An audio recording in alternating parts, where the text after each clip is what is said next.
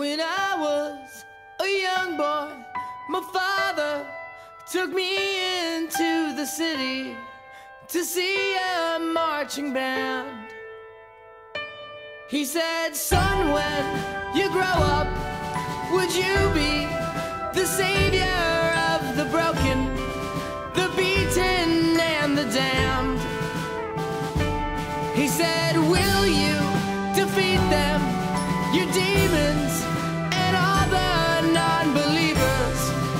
Plans that they have made?